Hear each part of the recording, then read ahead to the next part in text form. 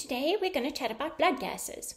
In order to do this, I've adapted a workshop that I prepared for SASOG a few years ago. The whole point is to illustrate the concepts with practical examples. Don't feel overwhelmed when you see a blood gas, especially if it looks confusing. Don't get tunnel vision and focus on the stuff that you don't understand or that doesn't make sense. Focus on the patient, resuscitate the patient, and not the blood gas. Much like anything in medicine, it's nice to have some kind of systematic approach. Context is vital when looking at a blood gas. Don't look at blood gases in isolation. Resus the patient and look after the patient clinically. That's your first priority. Use some sort of method, some sort of systematic approach, um, so that we can go through a blood gas um, in a step by step fashion.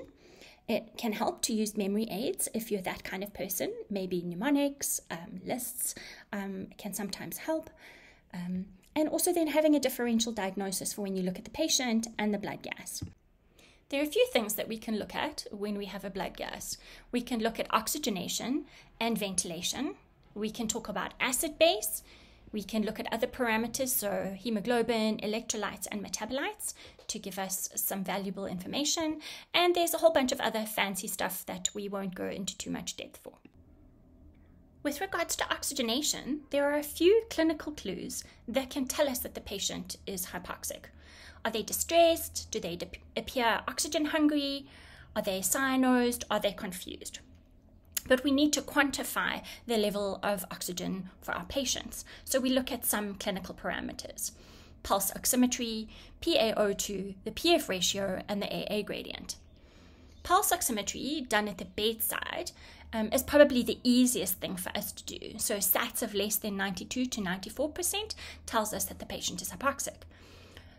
If we've got access to a blood gas machine, which is obviously the whole point of this talk, we need to look at the PaO2 so the arteriolar concentration of oxygen. And if the patient is on room air and the PaO2 is less than 60, the patient has type 1 respiratory failure. We're going to chat about PF ratio, and I'm not going to focus a lot on AA gradient. PF ratio is a simple thing that we can do at the bedside. I really like it, um, and I encourage all of you to focus on this element of quantifying the hypoxia or the hypoxemia for the patient. So the PF ratio is the PaO2 over the FiO2. So it is the relation of the arterial concentration of oxygen uh, in relation to the amount of oxygen we are providing to the patient, so the fraction of inspired oxygen. So the FiO2 is expressed as a decimal. So if the oxygen concentration is 40%, the FiO2 is 0.4. If the oxygen concentration is 70%, the FiO2 is 0.7. Essentially, if we look at this blood gas that I've shown, the PaO2 is 76. If this patient is on room air, we wouldn't be concerned about the patient. However, if this patient is on a high concentration of oxygen, for example, a non rebreather mask or even ventilated, we should be very concerned. It's not enough just to look at the PaO2 to tell us if the patient is hypoxemic. We need to know how much oxygen the patient is receiving to better quantify how hypoxic the patient is. So, to illustrate this, I've done um, PF ratios with different concentrations. So, uh, PF ratio on room air with an FiO2 of 0.4, 0.6, 0.8, and on 100% oxygen. You'll see if the patient is on room air, the PF ratio is very high, 361.9. If the patient is on a relatively high concentration of oxygen, so the 60% or the FiO2 of 0.6, you'll see this PF ratio is 126.6. That's really bad. That's a low PF ratio. That tells that this tells that, that tells us that this patient is in trouble. As opposed to when the patient is on 80% of oxygen, so an FiO2 of 0.8, the PF is even worse, 95. This patient is in severe trouble. So you'll see how valuable a PF ratio is. You just need to know what the PaO2 is on the arterial blood gas, and we need to quantify how much oxygen is the patient receiving. And then we can calculate the PF ratio. This is a beautiful image of the European city of Berlin, and I've just put it in as a memory aid to help us remember the Berlin classification of ARDS.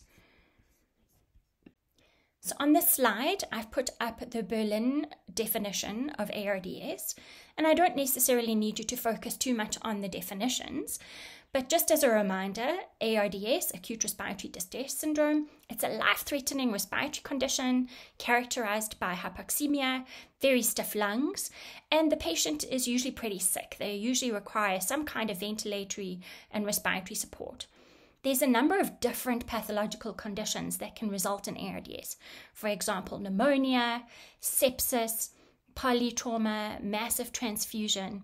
Um, and severe ARDS will result in death without ventilatory support. You'll see there at the bottom, the severe ARDS has got quite a high mortality as opposed to the mild ARDS where it's not as high.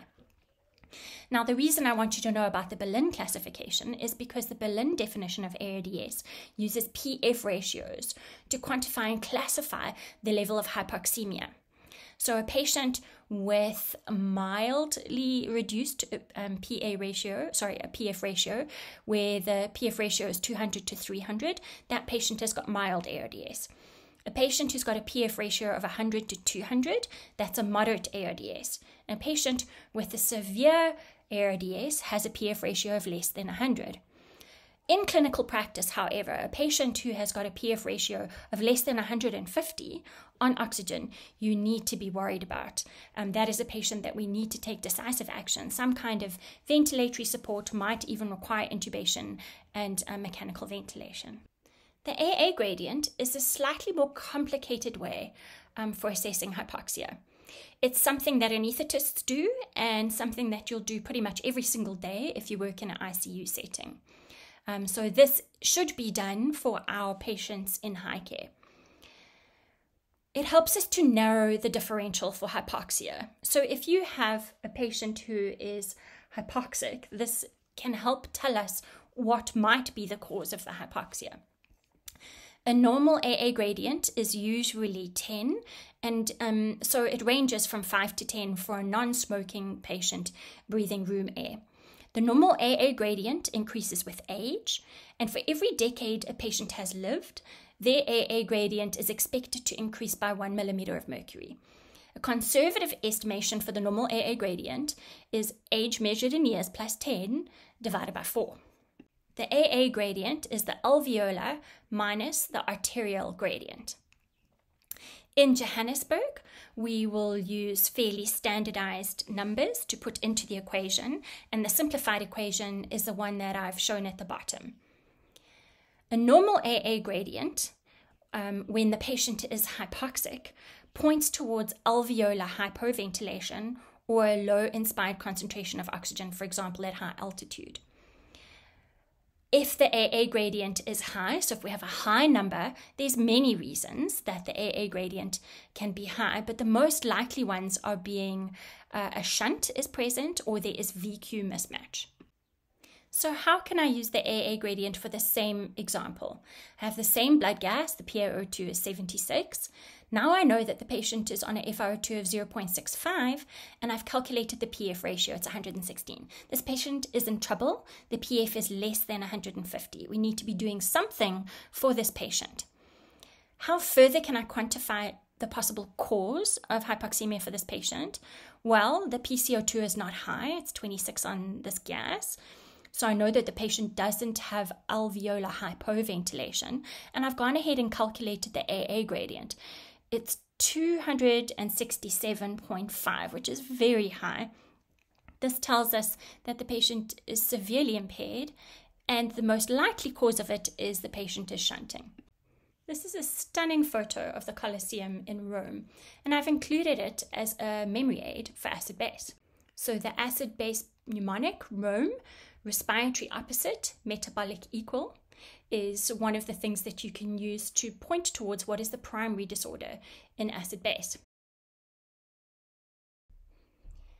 This is my blood gas cheat sheet that I developed when I was in ICU. Um, it's a nice little cheat sheet to use for looking at acid base disorders on blood gases. So, there's a few simple steps that we need to do when looking at acid base disorders. First of all, look at the pH. Um, is the pH down? Is there an acidemia? Is the pH up? Is there an alkalemia? try and decide what is the primary disorder using the Rome mnemonic to help you decide is there a respiratory condition, a metabolic con- condition. Um, have a look at anion gap. We're pretty good at calculating anion gap when there is a metabolic acidosis, but don't forget that patients don't read textbooks. It's probably a good idea to always calculate an anion gap um, in case there is a mixed disorder, because patients don't read textbooks and they don't usually just have one acid base disorder, they usually have complicated acid base disorders, not just a primary one. Uh, don't ever forget to look at base excess. It's a very valuable tool to tell us about metabolic acidosis. Have a look at compensation. Um, if there's a respiratory condition, usually there's metabolic compensation. If there's a metabolic condition, then there should be respiratory compensation. The amount of compensation determines the acuity or the duration of the condition. Mixed disorders, there's other fancy things that we can do, for example, looking at a delta gap and a delta ratio, um, particularly if there is a metabolic acidosis. We'll look at those, but go and have a look at Life in the Fast Lane um, to get a little bit more information about those because that's how you decide um, if they really are significant uh, mixed disorders. The next section of the talk, I'm going through some practical examples to illustrate some of the conditions, particularly the acid base conditions. So, the first case is you get a phone call from a junior doctor and they're worried about a blood gas of a patient. So, they send it to you via WhatsApp. This is the blood gas that you receive. We're going to look at oxygenation, ventilation, acid base, and electrolytes, and other. So there's a few important parameters that are missing. We don't have the temperature of the patient, that's missing, and it can affect the values on the blood gas. We do not know what the FiO2 is, um, and we also don't know the altitude at which this blood gas was done. So was it done at Durban, at the coast, or was it done um, in Joburg at altitude? First of all, oxygenation. The PO2 is 98.3, so we assume that the patient is okay, but this patient very well might be on supplemental oxygen. We don't know what the FiO2 is, so we can't calculate a PF ratio, and we don't know how, hypox- how hypoxemic this patient is. Ventilation, the PCO2 is 23.6. The patient is obviously tachypneic, hyperventilating. With regards to acid base, the pH is 7.5, the PCO2 is down, so this is a respiratory alkalosis. The bicarb is fairly static, 22.5, so this is an acute respiratory acidosis. There's also a very slight, probably negligible metabolic acidosis. If you see the base excess is minus 3.5, so it's only very slightly uh, low value. If we look at electrolytes, the ionized calcium is 0.8H, which is very common when a patient is tachypneic. So most people will assume that a patient with respiratory alkalosis is hyperventilating. It's a dangerous assumption because there's many more life-threatening causes of respiratory alkalosis, particularly when it is in conjunction with hypoxemia. AMISH is a nice memory aid to remembering the causes of respiratory alkalosis. While hyperventilation is one that we all remember, there are other causes of respiratory alkalosis anxiety, high ammonia levels, for example, in liver failure, and severe anemia. Medications can also result in respiratory alkalosis. So, for example, salicylate toxicity, catecholamines, so illicit ingestions of stimulants, or patients that are on um, adrenaline or noradrenaline, as well as progesterone levels being high, so in pregnancy. Iron overdose, isoniazid, can also cause uh, a respiratory alkalosis. Sepsis, including pneumonia, can cause it causes of hypoxia with hyperventilation that are life threatening pulmonary embolus, pulmonary edema, and pulmonary asthma.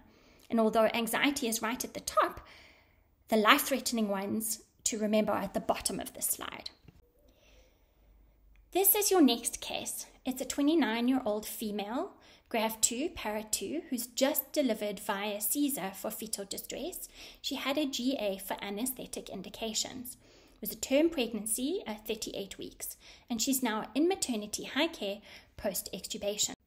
This is the blood gas of the patient as she arrives in high care, and the nurses have settled her in. Um, you'll see they haven't recorded the temperature, which is bad. She's just come from theatre. She very well might be hypothermic.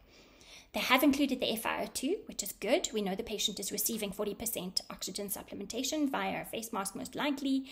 Um, and they have included the barometric pressure. This is at sea level in Durban. So if we look at oxygenation, ventilation, acid base, electrolytes, and other, we'll go through the gas like that. The oxygenation of the patient, the PO2 is 118. Her PF ratio is 295. So slightly hypoxemic, but okay on her 40% oxygen. I calculated the AA gradient for you and it's 112. This is definitely abnormal for her age um, and can be a shunt related to uh, consolidation. If she aspirated intraoperatively, we'd have to have a good clinical exam and find out what happened intraoperatively. Or there could be atelectasis collapse um, secondary to the positioning and the general anesthetic. Her pH is 7.31, which is an acidosis, and her PCO2 is 44. At term in pregnancy, we would be expecting her PCO2 to be 30, maybe 35. So this is a respiratory acidosis. Looking at the level of the bicarb, it's fairly normal, maybe slightly low.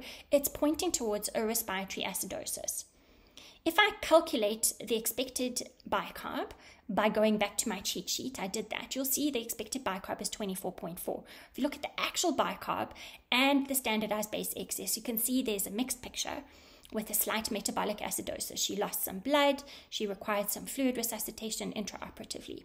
Her HB was 8.9, so maybe she's receiving a blood transfusion. When we're looking at metabolic, we do want the lactate so we can see how she is perfusing and giving us an indicator of um, how she's done intraoperatively. The glucose of 8 is expected. She's just had surgery. It is normal to have a metabolic response. So she has a respiratory acidosis and it's acute. I'm going to go through now some of the things that cause respiratory acidosis. We can see the PaCO2 on a blood gas when we do an arterial stab. The level of carbon dioxide is related to the level of carbon dioxide production and alveolar ventilation. PaCO2 can be raised when there's increased CO2 production or decreased alveolar ventilation. The more important of these, as clinically there are so many causes, is alveolar ventilation. Just looking at some of the causes of CO2 production or retention, the patient might have malignant hypothermia, which increases CO2 production, or they might be rebreathing, for example, intraoperatively, if the anaesthetist forgot to change the soda lime. This is slightly more rare. The the next part that I'm talking to you is about alveolar hyperventilation and is much more common. I like to think of the causes of alveolar hyperventilation like the layers of an onion. So, like the layers of a person going from outside inwards, there's numerous causes of alveolar hyperventilation, and my onion is my memory aid for helping you remember these. So, there are many causes of alveolar hyperventilation, many clinical conditions that can, that can affect ventilation. Extrapulmonary disease or thoracic disorders like scoliosis, kyphoscoliosis, or a flail chest impaired lung function or pleural interruption. So, for example, a pneumothorax or a massive hemothorax, or even if there's fibrosis, impairing normal lung function. Neuromuscular disease, for example, Guillain Barre syndrome, myasthenia gravis, various neuropathies or myopathies, or pulmonary or parenchymal disease, for example, pneumonia. Lower airway obstruction can cause alveolar hyperventilation, for example, secondary to bronchospasm or mucus plugs. Upper airway obstruction can cause alveolar hyperventilation. The tongue is the big culprit, especially if we're not managing the airway and the tongue flops back in the mouth and obstructs the airway. There could be a foreign body there might be spinal cord reasons for the patient having alveolar hyperventilation, for example, penetrating or blunt injuries. There can be central causes for alveolar hyperventilation, for example, head injuries, meningitis, respiratory center depression, sedatives, opioid analgesics. So there's a long list and many different things that can cause alveolar hyperventilation. We need to look at the patient in context to try and decide what is the cause of their respiratory acidosis. This is your third case. You have a ComServe doctor who has called you to come and see the patient in maternity high care. It is a 25 year old lady with skeletal dysplasia that has been referred to you from another, another facility for further management. It's a planned pregnancy. She is 30 weeks gestation. She's previously had two miscarriages and has had hip surgery in her youth on both hips. She recently had a cold and upper respiratory tract infection that was managed symptomatically um, a few days ago. He brings this blood gas to you and is worried, thinking he has to intubate the patient. So, just some of the important points. The temperature of the patient is included. The temperature is 37.4. She's obviously pyrexial. Um, and I wonder how this temperature was done. Was it done axillary? Was it core? Was it tympanic? Was it just a skin thing? So this patient has had a fever. 37.4 sounds normal, but if it's a skin one, you can probably assume the temperature is higher. Good, they've included the FiO2, so she's on 40% oxygen, and we've got the barometric pressure, so the patient is at altitude in Johannesburg. If we look at oxygenation, the PO2 is 69, so it's sort of low, especially considering we're administering 40% oxygen. If we calculate the PF ratio, it's 172.5, so the lady's in trouble. The AA gradient is also elevated. There's probably a reason for the shunt. Does she have acute lung pathology secondary to her skeletal dysplasia? Does she now have a pneumonia from her upper respiratory tract infection?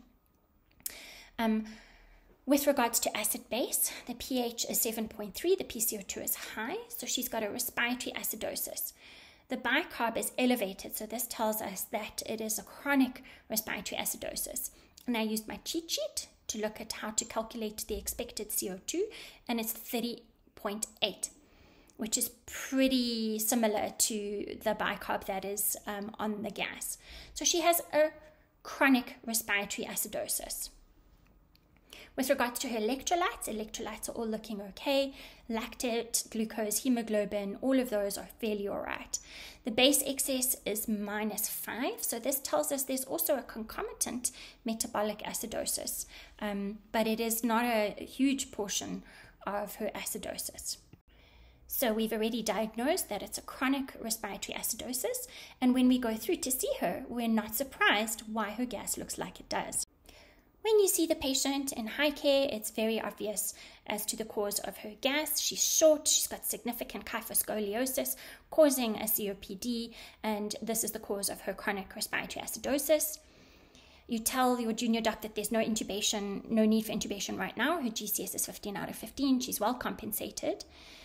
Um, the hypoxemia and hypocarbia could be due to her underlying chronic restrictive lung disease, but we need to be worried about an pneumonia, especially with a shunt. She's got a temperature, there's a little bit of a metabolic acidosis, so we need a new chest x ray, obviously, to investigate and probably inflammatory markers as well. Just remembering uh, the onion as the memory aid for uh, respiratory acidosis, there's many different layers and many different causes of alveolar hyperventilation. I've given you an example of, an acute and of a chronic respiratory acidosis. I'm going to move on to talking about some compensation. The 1, 2, 3, 4, 5 rule, or the 1, 2 bicarb 4, 5 rule, is a really cool way of remembering compensation for respiratory condition. If you look on Life in the Fast Lane, it'll take you through this but it essentially describes the compensatory memory aid used for respiratory conditions. It describes the expected movement of bicarb in relation to the movement of CO2. An increase in bicarb is found in respiratory acidosis. A slight increase in bicarb is found in acute respiratory acidosis, whereas a large increase in bicarb implies a chronic respiratory acidosis. A decrease in bicarb is found in respiratory alkalosis. A slight decrease in bicarb implies an acute respiratory alkalosis, whereas a large decrease in bicarb implies a chronic respiratory alkalosis. The next patient is a 22 year old female patient. The emergency department doctor has called you to come and see the patient. He thinks that she has a ruptured ectopic. She has a gestation of eight to nine weeks pregnancy based on dates and she confirmed an over the counter pregnancy test at home. They've confirmed a positive beta HCG in the ED. She has severe abdominal pain, no history of severe PV bleeding, some spotting a few days ago. She's pale, tachycardic, and hypotensive. The emergency department doctor has administered a liter of crystalloid fluid. He's putting up a second line. She's received fentanyl, 50 micrograms, some Perfalgan, and he's preparing to give a two uh, milligram dose of morphine for analgesia. So, this is her gas that was pulled. Um, you can see they've included her temperature. She's slightly hypothermic, probably needs her fluids to be warmed, blankets, and a Bair Hugger. They have included the barometric pressure, so it's obviously at sea level in Port Elizabeth, and they have included the FiO2. She's on 60% oxygen. So if we look at oxygenation, her PaO2 is 237 on 40% oxygen. This is hyperoxia. We can probably turn the oxygen down to a 40% mask or even a nasal cannula. With regards to ventilation, you can see the CO2 is 28, she's tachypneic. With regards to blood gas, if we're looking at acid base, her pH is 7.13 and her PCO2 is down. So this is a metabolic acidosis. Um, we can also see by the bicarb that it is very low, that this is a metabolic acidosis, and the standardized base excess of minus 13 tells us exactly the same thing. Um, we can now we're able to calculate an anion gap, and I'm, we're going to talk that talk about that just now because we've got all of the electrolytes. If we're looking at the ionized calcium, it is low. This is something that we potentially could uh, work on if her blood pressure was low. You can see the glucose is elevated, is probably a stress response. Um, and her lactate is very high. She definitely needs further resuscitation. So there's no surprise when we decide that this is a metabolic acidosis. But it is also a high anion gap metabolic acidosis. To remind us what the anion gap is, I've put up the formula on the next screen. Anion gap is the sodium minus the chloride minus the bicarb. A high level is when it is above 16 to 20. You might have a slightly different value if you are including potassium in your anion gap calculation. When there is a metabolic acidosis, we need to decide is it a high anion gap, a normal anion gap, or a low anion gap metabolic acidosis. Paracetamol overdose, paraldehyde, which we don't see much in clinical practice, iron overdose, isoniazid overdose, lactic acidosis, ethylene glycol, salicylate sepsis, methanol, so toxic alcohols, uremia, renal failure, and DKA are all causes of a HAGMA, a high anion gap metabolic acidosis. Winter's formula is the most important compensatory formula to remember.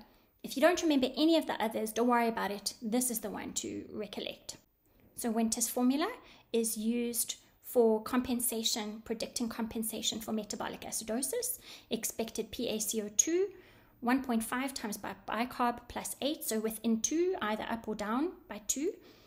If you find that the CO2, the expected CO2 that we've calculated, is pretty much the same as the measured, then we know there's adequate compensation. If the expected PaCO2 is different from the measured, then we know that there's a concomitant metabolic condition. The last two cases, I'm going to focus more on the acid base rather than on the oxygenation and ventilation. This patient is a 72 year old patient who is referred for admission from GOPD. She is seen by the intern. She is a lady who has CA cervix that has been lost to follow up for the last two years. She was following it up at a different facility but has come to live with her daughter. She's now presenting with lower abdominal pain, some PV discharge that is offensive. Um, she's had significant weight loss and has severe fatigue with some mild nausea. This is the blood gas for the patient. Her temperature is 37.9, which is not a surprise for you. You do think that she has an element of infection slash sepsis. She apparently is on room air, as the FiO2 is 0.21. She is at the coast, so it is possible that the PO2 is higher, but likelihood is she's on some supplemental oxygen. You notice that um, her CO2 is 25, so she is tachypneic. So she's uh, tachypneic as a result of her metabolic condition. Her pH is 7.3, PCO2 is down, so she's a metabolic acidosis. Um, her anion gap is 18 as you went ahead and calculated it, so it's a high anion gap metabolic acidosis. We want to look at the compensation. The PCO2, when you calculate the Winters formula, it's 26 and the actual PCO2 is 25. So she's well compensated for her metabolic acidosis. The base excess is minus 11, which also goes with a metabolic acidosis. So she is probably requiring fluid resuscitation. You do notice that her lactate, however, is not high, so you're not that worried about perfusion. Her HB is low, and it is probably an HB of chronicity. Um, as part of the investigation that was done by your intern in GOPD, you are lucky enough to have some i-STAT values, and you notice that her urea and creatinine are significantly elevated. So, although she might be dehydrated as a cause of her metabolic acidosis, actually she has a significant uremia as a cause of her severe metabolic acidosis. When you're doing a little bit more reading, you need to have a look at this particular cheat sheet um, on my um, cheat sheet for acid base disorders. And it goes through how to differentiate between a HAGMA, so high anion gap metabolic acidosis, a NAGMA, a normal metabolic, normal anion gap metabolic acidosis, as well as looking at a lower anion gap metabolic acidosis. This is probably quite an advanced topic and it is a topic for another stage, but I'm going to recommend that you guys go and have a look on Life in the Fast Lane to take you through delta gap and delta delta ratio. Your last case is a young lady who is referred to you for admission from GOPD. She's a young lady in early pregnancy presenting with the diagnosis of hyperemesis gravidarum. The doc has run a blood gas in the neighboring antenatal unit and shows you the blood gas on admission. This is a great blood gas because the temperature is included. She's apyrexial. She's on room air, and they have included the barometric pressure. She's at Bloemfontein. Her PaO2 on room air is 83, so she is not hypoxemic. I'm not going to go ahead and calculate a PF ratio and an AA gradient, so I do not think that it is necessary for this patient. Moving on to acid base and electrolytes, this is where the majority of this problem is at this case. You'll see her pH is 7.5 and her PCO2 is 49. So the pH and the CO2 are moving in the same direction. So this is a metabolic condition.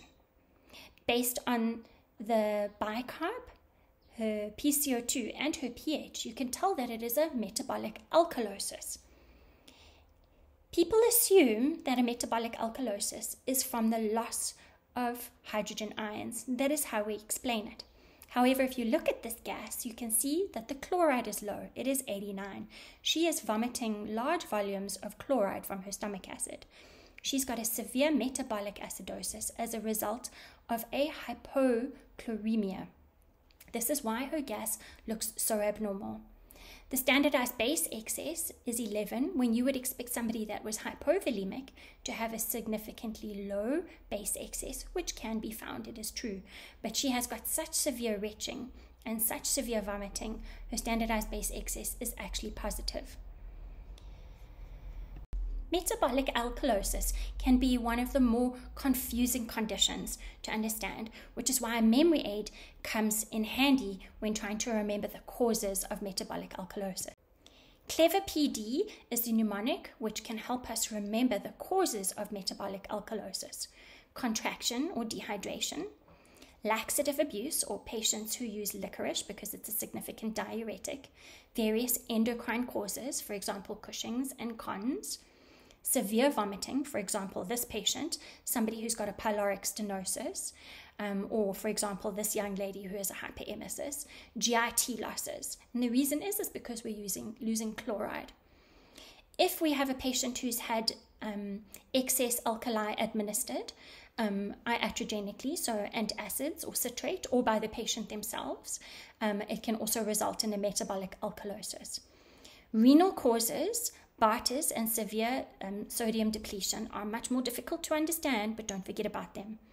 A patient who's recovering from a post hypercapnia will develop a metabolic alkalosis in the recovery phase. So, patients who've had COPD and have been treated and are maybe in the recovery phase after their pneumonia um, you will see this, and patients receiving diuretics. So, metabolic alkalosis is probably one of the more difficult um, acid base conditions to understand, and I find that using a memory aid is helpful. The traditional way that we understand acid base disorders is according to the Henderson Hasselbalch equation. So we look at pH, we look at PCO2, and we look at bicarb. The Henderson Hasselbalch equation includes bicarb and hydrogen ions. But we do need to admit that there are other variables that are not included when looking at acid base. The strong ion theory, developed by Dr. Stewart, is a theory of acid base that is a mathematical model, also known as a physicochemical model of acid base. And Dr. Stewart's theory states that many factors affect pH, not just the same ones that we learned in Henderson Hasselbalch theory. So, the strong ion theory says that pH is affected by PCO2, weak acids, and bases, buffers not considered in the traditional Henderson Hasselbalch model of acid base, and the strong ion gap. The strong ion difference is essentially the sodium minus the chloride. So, coming back to our young lady with the severe hyperemesis gravidarum, she has a severe, significant metabolic alkalosis. The Henderson Hasselbalch model explains the metabolic alkalosis is caused from the loss of hydrogen ions in her vomiting. The Stewart strong ion theory is another way of understanding this. Her sodium is normal, but her chloride is very low. In order to maintain electroneutrality in our blood, all of the anions and cations have to be balanced. The cations in the blood mainly are sodium, calcium, magnesium, potassium, and hydrogen ions. But the main cation contributing to the charge in our blood is sodium. The anions in the blood are mainly chloride, bicarb, hydroxyl ions, sulfate ions, negatively charged proteins, mainly albumin, sulfate ions, and the strong ion gap. However, the most important anion contributing the charge in our blood is chloride. The strong ions are therefore mainly sodium and chloride. The strong ion difference is sodium minus chloride. A normal strong ion difference is usually between 25 and 35 or 30 to 40 depending on what text you read. This young lady has vomited a large volume, losing many chloride ions. In order to maintain electroneutrality, the bicarb component in her blood has expanded. The strong ion difference has also increased. It is now 46. When the strong ion difference increases, this is in keeping with a metabolic alkalosis. As this patient is losing a large volume of chloride ions, this is a hypochloremic metabolic alkalosis. Stewart's theory also helps us understand what happens when we administer large volumes of normal saline to a patient.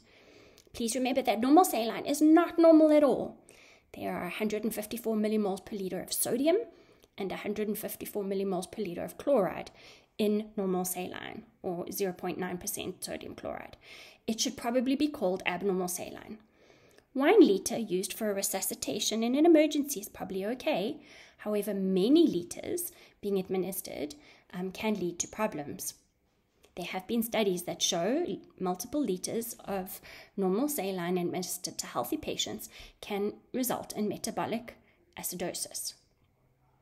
So, if this was our starting point with a normal distribution of ions, ions in the blood and a normal strong ion difference,